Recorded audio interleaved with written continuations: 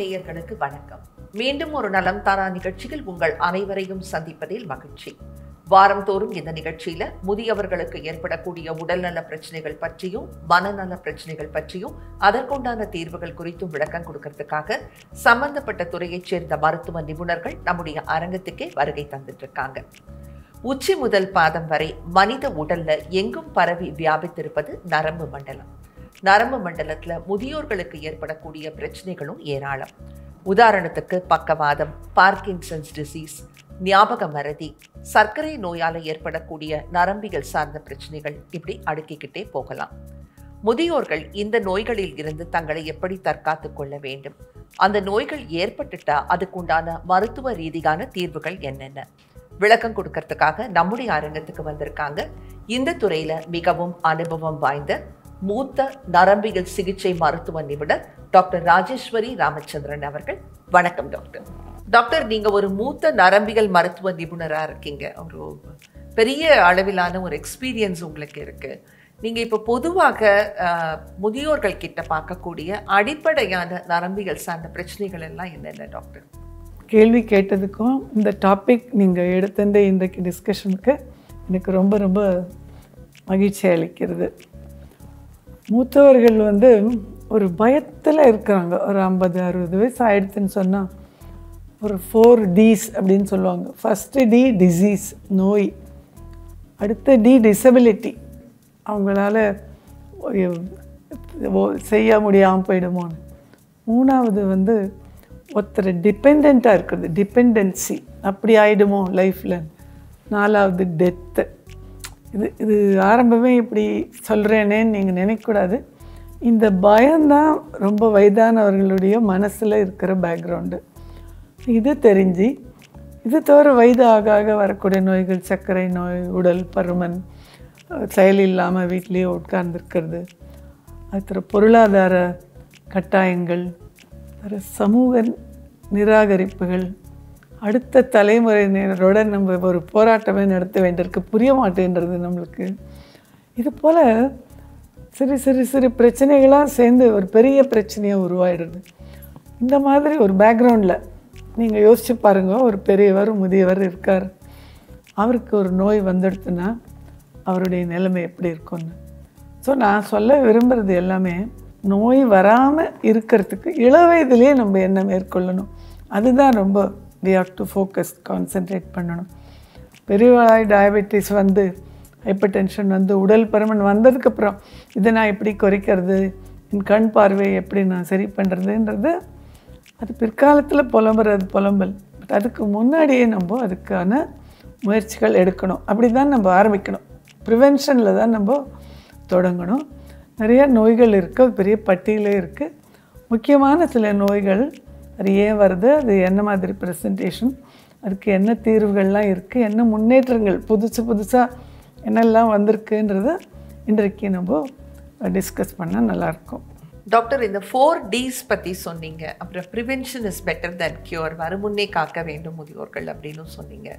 இப்போ முதியோர்களுக்கு பார்த்தீங்கன்னா காமனாக மூளையில் ஏற்படக்கூடிய ஒரு பிரச்சனை வந்து ஸ்ட்ரோக் இல்லையா டாக்டர் இந்த ஸ்ட்ரோக் அப்படின்னா என்ன? இந்த முதியோர்கள் ஸ்ட்ரோக் தங்களுக்கு வராமல் இருக்கிறதுக்கு ஏதாவது பாதுகாப்பான வழிமுறைகள் இருக்கா?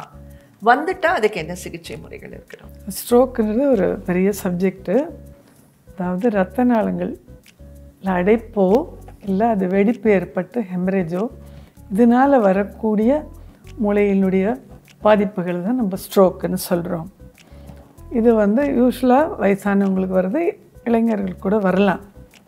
முக்கியமான காரணிகள்னு பார்த்தீங்கன்னா ஹைப்பர் டென்ஷன் டயபெட்டிஸ் முதல்ல ஓல்டேஜ் அதே எடுத்துக்கணும். ஸ்மோக்கிங் ஆல்கஹால் அது தவிர ரொம்ப வேலையும் செய்யாமல் நம்ம உட்காண்டே இருந்து ஒரு எக்ஸசைஸ் இல்லாத ஒரு வாழ்க்கை.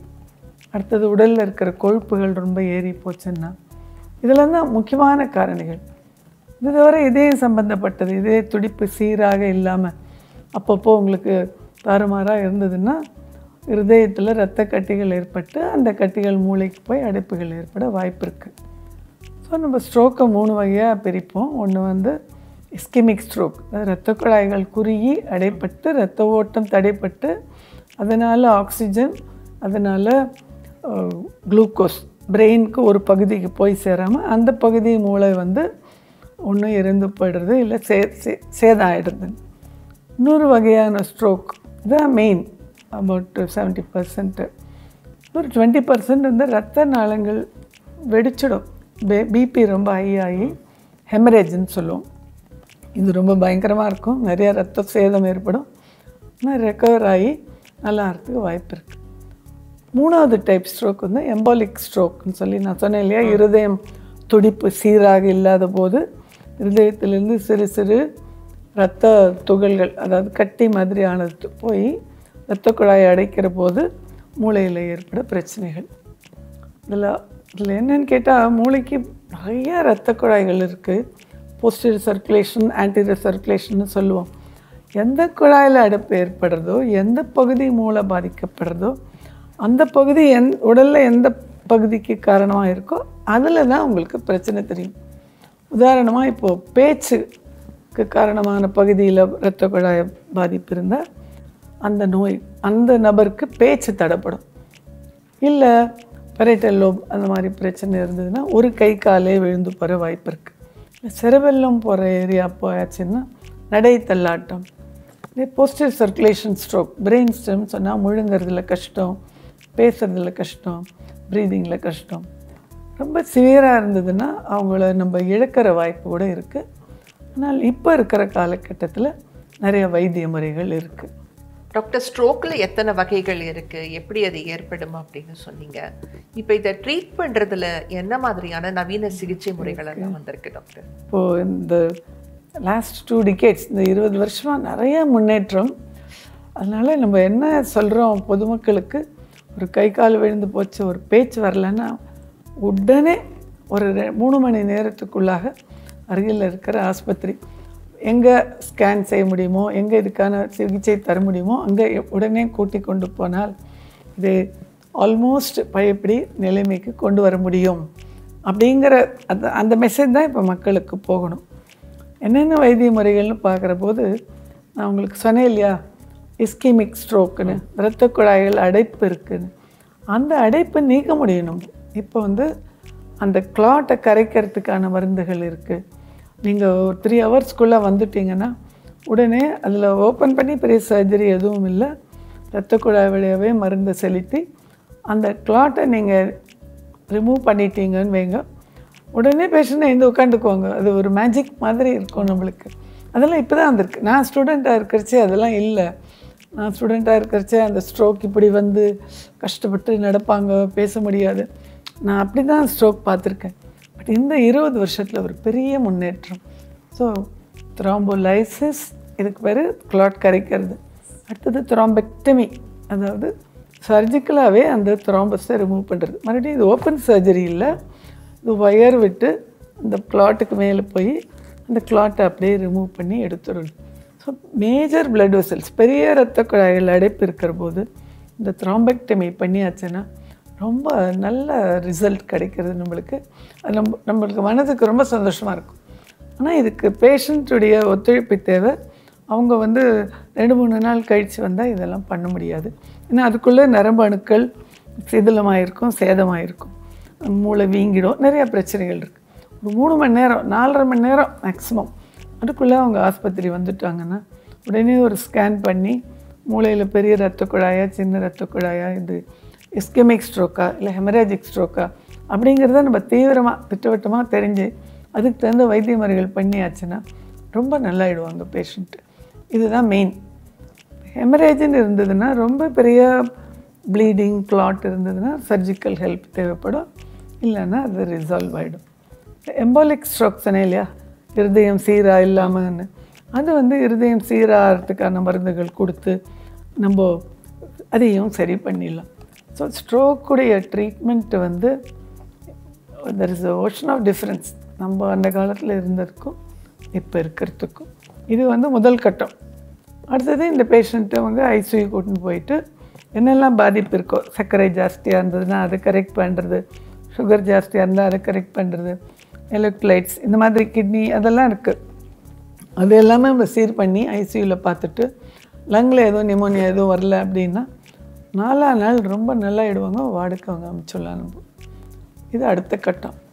மூணாவது கட்டம் வந்து ஃபிசியோதெரப்பி அதாவது இந்த கை கால் விழுந்து போனவங்களுக்கு உடனே அதுக்கு வேண்டிய எக்ஸசைஸ் கொடுத்து எந்த பாதிப்போ அதுக்கு தகுந்த மாதிரி ந நிற்க முடியலையா நடக்க முடியலையா தடுமாற்றம் இருக்கான்னு நடக்க வைக்கிறது கைக்கு வலு கொடுக்குற எக்ஸசைஸ் மசில்ஸ்க்கு இது பண்ண ஆரம்பிச்சிட்டோன்னா இதுதான் மூணு முக்கியமான கட்டங்கள். டாக்டர் முதியோர்களுக்கு அடுத்ததாக ரொம்ப பயத்தை ஏற்படுத்தக்கூடிய ஒரு விஷயம் இந்த பார்க்கின்சன்ஸ் டிசீஸ் இல்லையா டாக்டர்?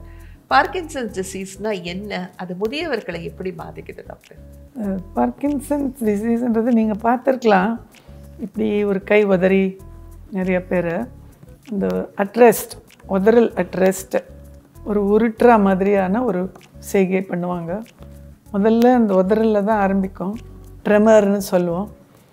அதுக்கப்புறம் அந்த ட்ரெமர் கையிலேருந்து தொடங்கி காலுக்கு போகலாம் கழுத்துக்கு வரலாம் தலைக்கு வரலாம் நாக்குக்கு வரலாம். ஸோ எப்போவுமே ஒரு மாதிரி அந்த ட்ரெமரோடையே இருப்பாங்க. மோ நாலு முக்கியமான இம்பார்ட்டன்ட் சிம்டம்ஸ் ட்ரெமர் ரிஜிடிட்டி ரொம்ப ஸ்டிஃப் ஆகிடுவாங்க ரொம்ப நட எல்லாமே குறைஞ்சி போயிடும் மெக்கானிக்ஸியம் அடுத்தது பேலன்ஸ் போயிடும். ஸோ இது இதனால தான் முக்கியமான சிம்டம்ஸ் நீங்கள் எப்படி கண்டுபிடிக்கலான்னா அவங்க முகத்தில் ஒரு உணர்ச்சியே இருக்காது. சலனமற்ற முகம். அதுதான் முதல் நம்மளுக்கு தெரியறது அப்படி கண்ணை அமைக்கிறதெல்லாம் அவ்வளோ இருக்காது.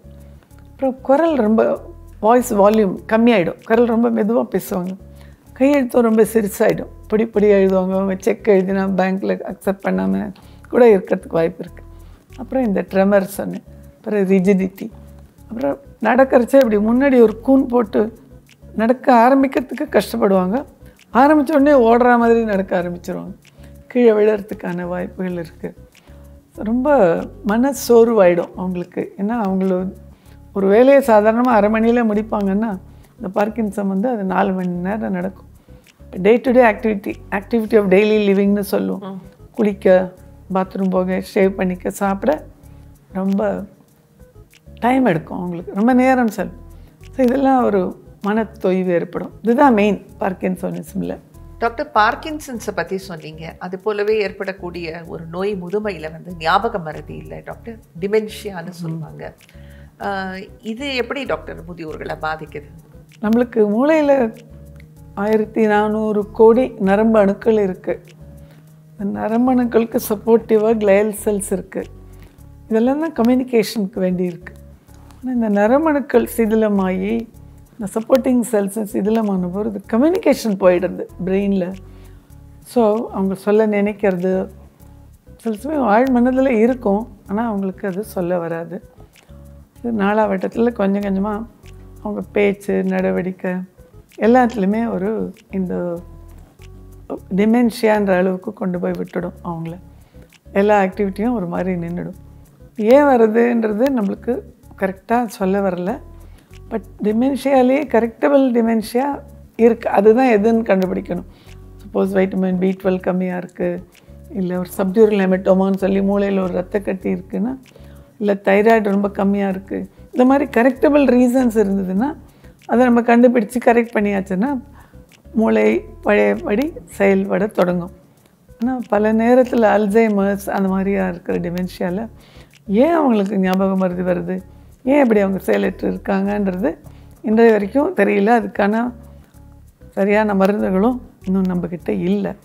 ரொம்ப நம்மளுக்கு தெரியல இது பற்றி ஆனால் இது ரொம்ப அதிகமாகிட்டு வருது. எண்பத்தஞ்சு வயசு ஆயிடுத்துன்னா டுவெண்ட்டி ஃபைவ் பர்சன்ட் டிமென்ஷியா வர வாய்ப்பு இருக்குது அறுபது வயசில் ஒரு பர்சன்ட்டுக்கு தான் டிமென்ஷியா இருக்குதுன்னு வச்சுக்கோங்க. நூறு பேர் இருந்தால் அதில் ஒருத்தர். இதுவே ஒரு இருபத்தஞ்சி வருஷத்தில் நாலில் ஒரு பங்கு ஜனங்களுக்கு டிமென்ஷியா வர வாய்ப்பு இருக்குது வயசு ஆக ஆக இந்த வாய்ப்பு கூடுறது அப்படின்னு. அதுதான் இப்போத்தைய நாட்டு நடப்பு. இது வந்து இன்னும் ஒரு இருபது வருஷத்தில் இன்னும் அதிகமானவங்க இந்த டிமென்ஷியா ஆளாக ஆளாகக்கூடிய வாய்ப்பு இருக்குது டாக்டர் அடுத்து முதியோர்கள் நிறைய பேர் கம்ப்ளைண்ட் பண்ணக்கூடிய ஒரு விஷயம் உட்காந்து எழுந்திருக்கும் போதே தலை சுத்துதுன்னு சொல்லுவாங்க. நிறைய பேர் அந்த தலை சுற்றலால கீழே விழறதுக்கு கூட வாய்ப்பு இருக்கு இல்லையா டாக்டர்? இந்த தலை சுற்றலேருந்து முதியோர்கள் தங்களை எப்படி தற்காத்து கொள்ள வேண்டும்? இது ஏன் வருது? இதுக்கு மருத்துவ ரீதியான தீர்வு ஏதாவது இருக்கா டாக்டர்? அதாவது நம்மளுடைய பேலன்ஸ் ஸ்டெடியாக நம்ம நடக்கிறோம் அப்படின்னா நம்ம கால்லேருந்து நம்ம எங்கே நிற்கிறோன்ற அந்த சென்சேஷன் பிரெயினுக்கு கன்வே ஆகணும். அதே போல் காலில் மூணு திரவ குழாய்கள் இருக்குது அதுவும் நம்ம பொசிஷனை பிரெயினுக்கு அறிவிக்கிறது. கழுத்தும் அதே கூட கழுத்தில் இருக்கிற தசைநார்களும் மூளைக்கு அறிவிக்கிறது. கண் பார்வையும் நம்மளுக்கு சொல்கிறது நம்ம எங்கே இருக்கோம் நிற்கிறோம் நடக்கிறோன்னு இப்போது இதில் ஏதான ஒரு நரம்பு ஒழுங்காக வேலை செய்யலைன்னு வைங்க. கழுத்து வந்து சர்வைக்கல் ஸ்பான்லோசிஸ் வருது. இல்லை காலில் இருக்கிற இந்த திரவ குழாய்களில் இருக்கிற கிறிஸ்டல்ஸ் மாறி போகிறதுன்னா திடீர்னு ஒரு தலை சுத்தல் வர வாய்ப்பு இருக்குது அது பேர் வெர்டெகோ அது வந்து திடீர்னு வரும். திடீர்னு உலகமே சுற்றுற மாதிரி இருக்கும். ஒரே ஸ்வெட்டிங் வாமிட்டிங் ந நகர கூட முடியாது. பிடிச்சுட்டே இருப்பாங்க. அது ஆனால் மருந்துகள்லாம் கொடுத்து சரி பண்ணிடலாம். ஆனால் நம்ம யூஸ்வலாக பார்க்குறது என்னென்னா வயசாக ஆக இந்த கழுத்து எலும்பு ஸ்ட்ரைட்டன் ஆகிடும் cervical ஸ்பைன் அப்புறம் கால் நரம்புகளில் போதுமான உணர்ச்சிகள் இருக்கிறது இல்லை சென்சரி அட்டாக்ஸ்ன்னு சொல்லுவோம். இதெல்லாம் சேர்ந்து நடைய ஒரு தள்ளாட்டம் வந்துடுறது ஒரு பயம் வந்துடுறது தலை சுத்தல் வந்துடுது இது தவிர சுகர் இறங்குறது ஏறுறது இல்லை பிபி இறங்குறது ஏறுறது இல்லை தைராய்டு ஒழுங்காக இல்லை அசிடிட்டி ரொம்ப இருக்குது இந்த மாதிரியான காரணங்களும் தலை சுத்தலுக்கு காரணமாக இருக்கலாம். பெரிய பில்லோ யூஸ் பண்ணுறது உடனே சட்டுன்னு ஏந்து உடனே உடனே படுத்து உக்காண்டு இருந்து அதெல்லாம் ரொம்ப வயசானவங்க கொஞ்சம் நிதானமாக செய்யணும்னு நம்ம எதிர்பார்க்குறோம் அவங்களுக்கு. இது ரொம்ப காமன் வைட்டமின் டிஃபிஷியன்சி இருந்தால் அதை கரெக்ட் பண்ணணும். Cervical ஸ்பைன் இருந்ததுன்னா அது உங்களுக்கு ஃபிசியோதெரப்பி எல்லாம் கொடுக்கணும். கால் நரம்பு வீக்காக இருக்குன்னா அது எந்த அளவு இருக்குன்னு கண்டுபிடிச்சி அதுக்கு உண்டான மருந்துகள் கொடுக்கணும். கொடுத்தா ஓரளவு நம்ம நல்லாவே சரி பண்ண முடியும். அவங்களுடைய வாழ்க்கை முறையை கொஞ்சம் கம்ஃபர்டபுளாக கொண்டு வர முடியும் நம்ம. டாக்டர் முதியோர்களுக்கு ஏற்படக்கூடிய நரம்பியல் சார்ந்த பிரச்சனைகள் பற்றி அற்புதமான விளக்கங்கள்லாம் கொடுத்துட்டு இருந்தீங்க இப்போ முதியோர்கள் குழந்தைகளுக்கே இருக்கு இப்போது சர்க்கரை வியாதிங்கிறது டாக்டர். இப்போ முதியோர்களுக்கு சர்க்கரை நோய் ஏற்படும் போது அதனுடைய பாதிப்புகளும் அதிகம் இருக்கும். இல்லைங்களா? அந்த அளவு வந்து ஓரளவுக்கு கட்டுப்பாடில் வைக்க முடியலன்னா அதனால் அவங்களுக்கு ஏற்படக்கூடிய பலவிதமான பிரச்சனைகளும் இருக்குது இப்போ முதியோர்களுக்கு ஏற்படக்கூடிய சர்க்கரை நோயினால் ஏற்படக்கூடிய நரம்பியல் சார்ந்த பிரச்சனைகள்லாம் என்னென்ன டாக்டர்? அதுக்கு என்ன விதமான தீர்வுகள்? சர்க்கரை நோய்னால வர பிரச்சனைகள் ஏராளம் தாராளம். பிரெயினில் வருது கண்ணு பார்வையில் வருது காது கேட்குறதுல வருது நரம்புகளில் வருது. நான் சொன்னேன் இல்லையா தொடு நரம்புகள் காலில் வச்சு தெரியலன்னு. ஸோ நம்ம ஒன்று ஒன்றா எடுத்துட்டா முக்கியமாக ரெட்டினோபதி கண்ணில் ரெட்டினான்றது தான் ரொம்ப இம்பார்ட்டண்ட் நம்ம பார்வைக்கு. ஸோ இந்த பயங்கர சுகர் ஏறி இந்த ரெட்டினோபதி வந்தாச்சுன்னா பார்வை போயிடுறது. இது தடுக்கக்கூடிய ஒன்று ஸோ சர்க்கரை நோய் இருக்கிறவங்க ரெகுலராக கண் செக் பண்ணிக்கணும் நரம்பு செக் பண்ணிக்கணும் ஹார்ட் செக் பண்ணிக்கணும் கிட்னி செக் பண்ணிக்கணும். இதுதான் நம்ம பேஷண்ட் கிட்ட எல்லாம் சொல்கிறது அடுத்தது வந்து நரம்புகள்னு எடுத்துட்டாக்க நரம்புகளில் பெரிஃபரல் நியூரோபத்தின்றது தான் ரொம்ப முக்கியம். கை கால் நரம்பில் ரெண்டு விதமான நரம்புகள் இருக்குது ஒன்று மோட்டர் ஒன்று சென்சரின்னு பேர். ஸோ அந்த சென்சரி நர்வ்ஸ் தான் ரொம்ப அஃபெக்ட் ஆனால் காலில் எரிச்சல் வருது காலில் கிராம்ப்ஸ் வருது நைட்டு அப்புறம் அவங்களுக்கு நடந்த நட தள்ளாடுறது. ஸோ அந்த நரம்பு பிரச்சனை வந்து அவங்களுடைய மொபிலிட்டி குறைஞ்சிடுறது அவங்களால வழக்கம் போல் நடந்துக்கிறது பண்ண முடியல. ஸோ முதல்ல சர்க்கரையை கண்ட்ரோல் பண்ணிவிட்டு நரம்புக்கு உண்டான வைத்திய முறைகள் நம்ம பண்ணணும். இது அடுத்த பிரச்சனை. மூணாவது இரத்த குழாய்கள் உள்ளெல்லாம் கொரோடாயி உங்களுக்கு அத்தரோஸ்க்ளோரோசிஸ் மாதிரி வந்து அடைப்புகள் வரத்துக்கு சான்ஸ் இருக்குது ஸோ கழுத்தில் ஹார்ட்டில் இருந்து ஹார்ட்டில் போகிற ரத்த குழாய் பிரெயினுக்கு போகிறதுலாம் பிளாக் வந்துடுது இங்கே செவன்ட்டி பர்சன்ட் எயிட்டி பர்சன்ட் இப்போ மூளைக்கு ரத்த குழாய் ரத்த ஓட்டம் தடைப்படுறது அதே போல் மூளையில் இருக்கிற ரத்த குழாயிலையும் ரத்த ஓட்டம் தடைப்படுறது. இதனால் ஸ்ட்ரோக் வருது. ஸோ நீங்கள் எடுத்தீங்கன்னா எல்லா விதத்துலேயும் சுகரும் பிபியும் கண்ட்ரோல் பண்ணிக்க வேண்டிய கட்டாயத்தில் நம்ம இருக்கோம். இல்லைன்னா கண் பார்வை கை நரம்பு கால் நரம்பு எல்லாத்துலேயுமே உங்களுக்கு பிரச்சனை ஆகிடுது ரத்த ஓட்டம் அதனால் வர பிரச்சனைகள் இப்படி. அதனால் சுகரை கட்டாயமாக control sugar cholesterol LDL cholesterol BP இந்த மூணையும் கட்டாயமாக நம்ம கண்ட்ரோலில் வச்சுக்க வேண்டிய ஒரு கட்டாயத்தில் இருக்கோன்றது பேஷண்ட் புரிஞ்சுக்கணும்.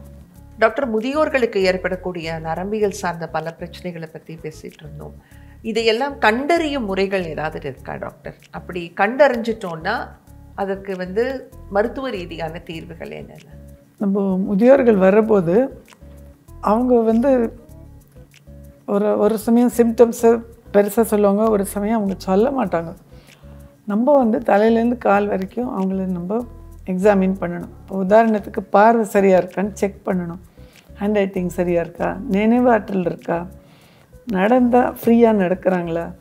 பேலன்ஸ் இருக்கா? இந்த மாதிரி நம்ம நிறைய பரீட்சைகள் இருக்குது ஒரு நோயாளி வந்தால் ஒரு முதியவர் வந்தால் அவர் சொல்கிறது சொல்ல எல்லாமே நம்ம செக் பண்ண சில நேரம் அவங்களுக்கே கூட தெரியாது அவங்களுக்கு பிரச்சனை இருக்குதுன்னு ஆக்சுவலாக செருப்பு போடுறதுல கூட கஷ்டம் இருக்கும். படி ஏறுறதில் கஷ்டம் இருக்கும். கழி கழிவறை போய் வர்றதுலேயும் அவங்களுக்கு கஷ்டம் இருக்கும். அதெல்லாம் அவங்க சொல்ல வர்றதில்ல. நம்ம கேட்டு தெரிகிற போது ஓ இவங்களுக்கு பேலன்ஸில் பிரச்சனை இருக்குது விஷனில் பிரச்சனை இருக்குது மெமரியில் பிரச்சனை இருக்குது எடுத்து சொல்கிறதில்ல உள்ளுக்குள்ளே இருக்குது ஆனால் வெளியில் அவங்களுக்கு சொல்ல வர்றதில்ல. அதெல்லாம் நம்மளுக்கு டெஸ்ட் பண்ணுறச்சுன்னு தெரிகிற போது நான் அவங்க என்னெல்லாம் டெஸ்ட் பண்ணணும்னு அவங்களுக்கு விளக்கமாக சொல்லி அதுக்கு நிறையா வழிமுறைகள் இருக்குது முக்கியமாக எக்ஸசைஸ் முக்கியமாக டயட்டு முக்கியமாக அன்பு அரவணைப்பு குடும்பத்தில் வந்து அவங்க தேவை அப்படிங்கிற ஒரு உணர்வு இதெல்லாம் நம்ம கொடுக்குற போது நிச்சயமாக அவங்க நல்லா ஆகிறதுக்கு வாய்ப்பு இருக்குது டெஸ்ட்டு சில நேரம் பண்ண வேண்டியிருக்கு. ஸ்கேன் பண்ண வேண்டியிருக்கு. சுகர் செக் பண்ண வேண்டியிருக்கு. காலுக்கு ரத்தம் ஓட்டம் இருக்கான்னு செக் பண்ணணும். கால் நரம்புகள் வேலை செய்யுதான்னு செக் பண்ணணும். அதனுடைய முக்கியத்துவத்தை அவங்களுக்கு விளக்கி சொல்லி ஐயா நீங்கள் இதை பண்ணிக்கோங்க பெரியவரே. பண்ணால் நீங்கள் டிபெண்டன்சி இல்லாமல் இண்டிபெண்ட்டாக ஒரு லைஃப் லீட் பண்ண முடியும்னு சொல்கிற போது அவங்க அதுக்கெல்லாம் இணங்கி எல்லாம் பண்ணி நல்லா ஆறாங்க. ஆனால் முதல் ஸ்டெப்பு அவங்கள யாரான்னு ஹாஸ்பிட்டலுக்கு கூட்டின்னு வரணும். கையில் உதறல் தானே வயசான உதறும் அப்படின்னு சொல்லி விட முடியாது. நம்ம இந்த மாதிரி பார்வை தெரியலன்னு சொன்னால் ரெண்டு நாள் சரியாக இருக்கான்னு நம்ம பார்க்கணும்.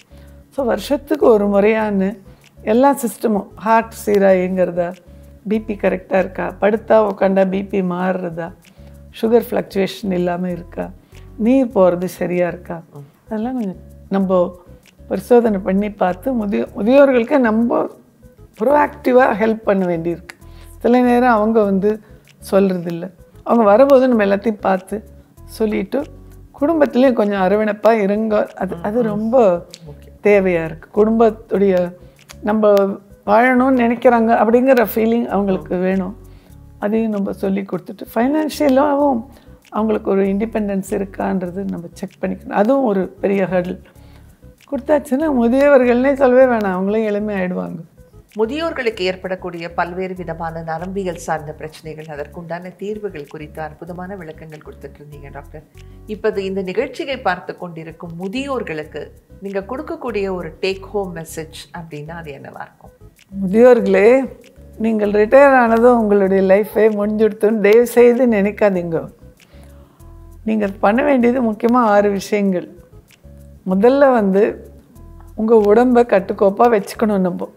ஸோ ஆகாரத்தில் ஒரு டிசிப்ளின் டெய்லி நட முக்கியமாக நட எக்ஸசைஸு இதுதான் மெயின் ஆகாரமும் நடையும். வெயிட் கூடாமல் பார்த்துக்கோங்க சுகர் பிபியை பீரியாடிக்கலாக செக் பண்ணிக்கோங்க. நிறையா மருந்துகள் இருக்குது சரி. மூணாவது விஷயம் மன அழுத்தத்துக்கு ஆளாகாதீங்க. எவ்வளவோ விஷயங்கள் இருக்குது ஏதோ ஒரு ஹாபி அடாப்ட் பண்ணிக்கோங்க. ஒரு புது மொழி கற்றுக்கோங்க இல்லை ஒரு புது விளையாட்டை வச்சுக்கோங்க. நாலு பேரோட பழகிறதுக்கு பாருங்கள் சமுதாயத்தில் ஒருத்தராக இருக்கிறதுக்கு பழகிற போது மன அழுத்தம் தன்னால் போயிடுது.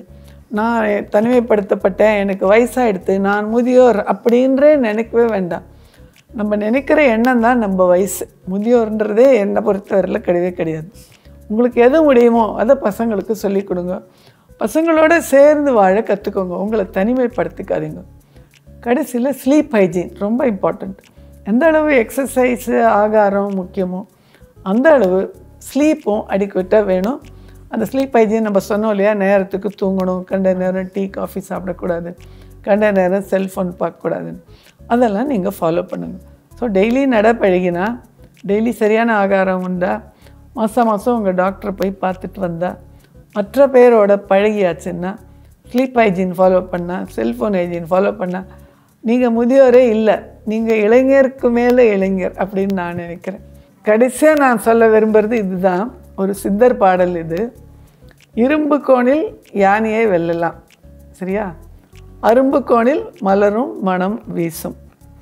அதே போல் கரும்பு கோணில் பாகாய் ஆகிடும் ஆனால் நரம்பு கோணில் அதுக்கு சொல்யூஷனே இல்லை.